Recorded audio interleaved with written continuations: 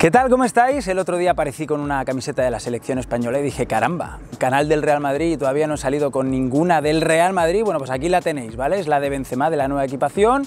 Hoy haciendo un vídeo eh, de emergencia, como en alguna que otra ocasión, sosteniéndolo ahí con mi brazo izquierdo. Vamos a ver el tiempo que pueda aguantar. De todos modos, como los vídeos de YouTube se pueden cortar, pues no pasa nada.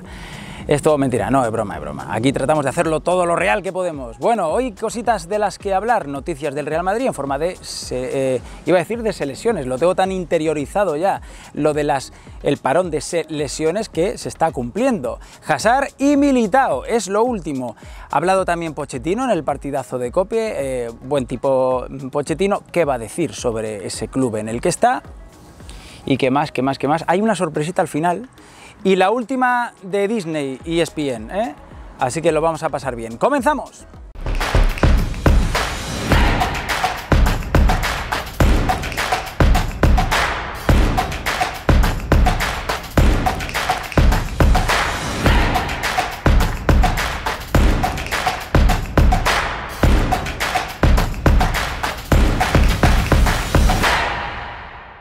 Y comenzamos con la lesión de Militao. Sufrió un traumatismo en la región posterior del muslo derecho en el partido contra Colombia el pasado domingo. Habrá que esperar a que regrese a Madrid para saber si puede jugar en Kiev y esto es a 10 días del clásico. Y lo de Hazard, ya lo sabéis, una sobrecarga que le hace ser duda desde luego para ese partido en Kiev, el próximo que juega el Real Madrid porque se va a aplazar el encuentro frente al Athletic Club de Bilbao de este fin de semana y ya veremos en el clásico. Bienvenidos madridistas, ya me veis aquí tratando de grabar con los vecinos por aquí, eh, grabando en el, en el barrio con el último sol de la tarde, aunque se ha metido ya entre las nubes. No tenemos mal atardecer en Miami, pero desde luego lo es mucho mejor desde la otra costa, desde la costa oeste de la península de la Florida, allá donde está el Golfo de México.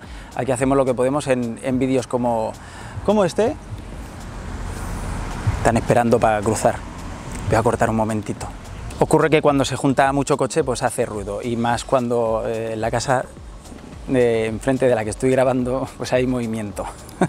Me he tenido que mover un poquito porque no he escogido el lugar más adecuado. Aquí ya estoy en la soledad que pretendo para, para hablar de la lesión de Militao y, y, de la lesión menos de Hazard. ¿no? Yo creo que es más importante Militao desde luego y lo que le ha ocurrido al brasileño es algo que puede pasar en este parón de selecciones del que estamos ya muy, harto, muy hartos. El otro día lo dijo Thibaut Courtois que esto no va a parar hasta que los futbolistas ya no puedan más. ¿no? Y, y es una vergüenza porque los clubes al final son damnificados de esta, de esta situación. El Madrid puede perder eh, para ese partido frente al Barça y otro que es muy importante contra el Shakhtar Donetsk en Kiev esta próxima semana, eh, a uno de sus efectivos importantísimos desde luego en, en, defensa. Veremos lo que ocurre. Ha hablado también Pochettino en el partidazo de Copa, era una entrevista que ya tenían anunciada y lo que ha dicho el técnico argentino, que por cierto, no es que me sorprenda, porque cada uno se busca la chamba, como dicen en México, como, como puede, ¿no? El trabajo, el curro, como decimos en España, pero es que es tan, es tan raro ver a un tipo tan, a un buen tipo como eh, Pochettino verlo en ese club, ¿no?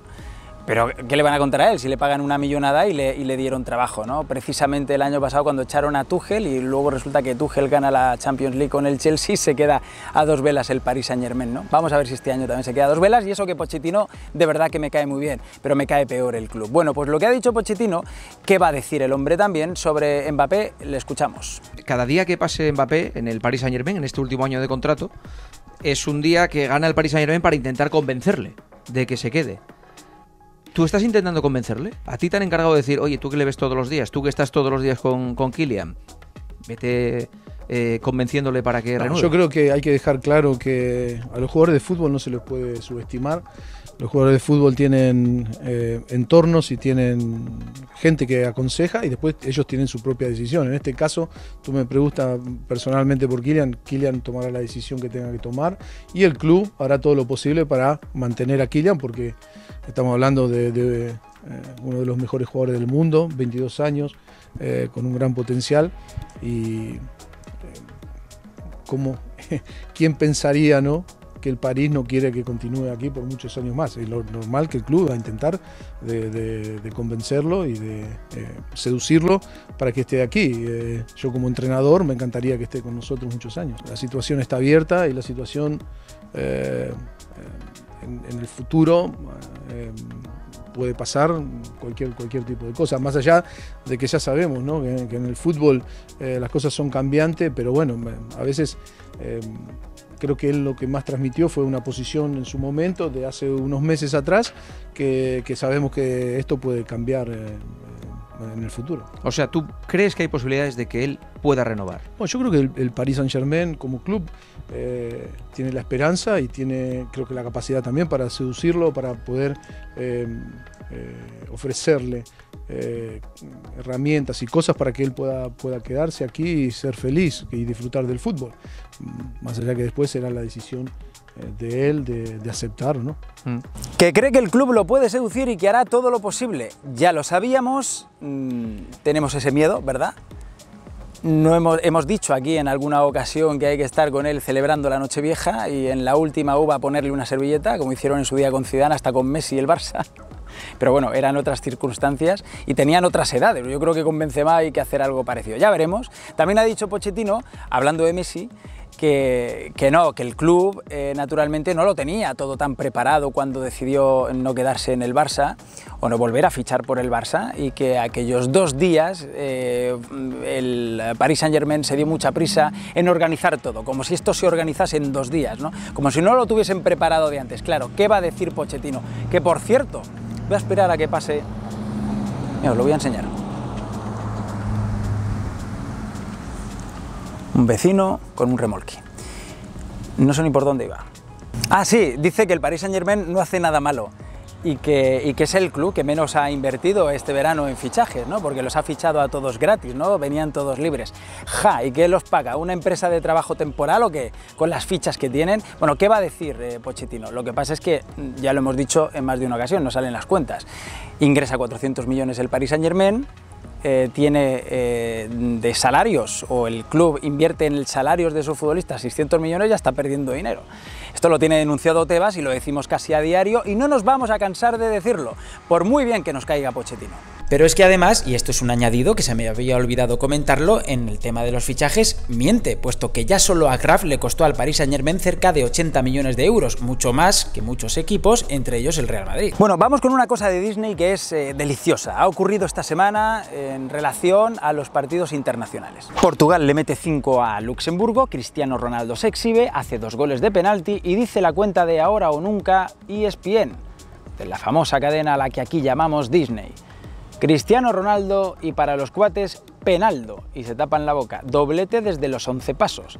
Ponen la imagen de Cristiano y otra en la que dicen un clásico. Y resulta que como apunta aquí Don Shelby madridista, en esa muy buena cuenta de Twitter, ojito al dato, y ESPN Deportes, de los 115 goles de Cristiano con Portugal, 16, o sea el 14% son de penalti. De los 80 goles de Messi con Argentina, 17, o sea el 21% son de penalti. Lo que es un clásico, chatos, es que aticéis a Cristiano con casi cada cosa que hace, y eso que la mayoría de las cosas que hace Ronaldo son récords, ¿vale? Y tengáis los huevazos de dar esos números, de llamarle de esa manera cuando Messi tiene números mayores en cuanto al porcentaje de penaltis anotados con su selección. A que con Messi no os atrevéis, ¿no? Bueno, no vamos a perder mucho más tiempo con Goofy y compañía. Para superproducción buena, la que hice hace unos años, está mal que lo diga, pero quedó bien, ¿eh? Quedó bien. Eh, una entrevista con es la sorpresita de la que os hablaba. Bodo Ilner, el mítico guardameta del Real Madrid, que es verdad que estuvo relativamente poco tiempo, pero que fue muy importante en la séptima. Yo empecé a trabajar con Bodo Ilner cuando llegué aquí a Miami, a los Estados Unidos, para... Eh, él colaboraba con Bean Sports y esto es del año 2012 empezábamos eh, a hablar de la Liga Española, teníamos los derechos y el tipo es un tipazo, me invitó a su casa, le hice una entrevista y quería rescatarla porque muchos de vosotros seguramente, y sin él seguramente, muchos de vosotros no la habéis visto. Ya digo, es un poco antigua, pero bueno, traída a este tiempo todavía creo que perdura y es atemporal. Dentro vídeo. Hola, buenas. ¿Vive aquí un campeón del mundo y un campeón de Europa? ¿Ha venido? ¿Qué tal? bien? Puedo ir, nada más. Me ofrecieron trabajar como comentarista, como experto de fútbol aquí a una cadena nueva en los Estados Unidos y ahí me traen los partidos de España, de Italia y de Inglaterra. Justamente en Miami me, me reconocen aún más por, por los sudamericanos que, que, viven el fútbol de, casi como los españoles. Nosotros también tuvimos un equipazo, ¿no? pero también el equipo este año o los últimos años también es extremadamente fuerte. Y en la. Pari. El perro de Bodo Illner, que menudo es, ¿eh? El tío. Este, este sí que no era portero, este tiene que ser defensa, porque es un, Platz. es un marcaje, marcaje Ah, al ah. hombre duro. Que obedece, Y, y obedece, obedece al dueño. A mí no me ha hecho ni caso. es impresionante, ¿no? Y, y- y no solo por estar ahí con el equipo, bueno, él ha salvado muchas veces también el equipo con muchas paradas. Yo no veo ningún sentido en este, en este tipo de, de críticas. Tú tienes que tener algún recuerdo de haber sido campeón del mundo. Sí que los guantes sí que los tengo y cre- creo que incluso lo, lo he traído. ¿Ah, sí? ¿Los tienes? Sí, sí. ¿Me los alguna- enseñas? alguna- sí, pues vale. Tengo que buscarlo, ¿eh? Tienes que Venga, esperar venga, un momento. yo ¿vale? tengo todo el tiempo del mundo. Qué bárbaro. Estos son, son los guantes que les voy a mandar dentro de poco a Alemania porque van a hacer un museo ahí. Yo me lo voy a poner. Muchas gracias por la visita. Gracias a ti. Vaya anfitrión, campeón del mundo, campeón de Europa. Gracias, Rodo, ¿eh? Venga, de nada. Un placer. Un lujo.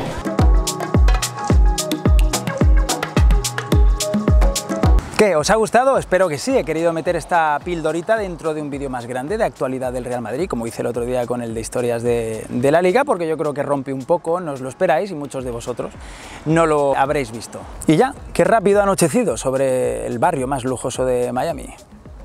Es broma, obviamente. Nos vamos ya. Eh, eso sí, se ha hecho de noche muy rápido. Menos mal que me ayudo de una luz artificial porque si no me estaréis viendo todo oscuro. Me voy.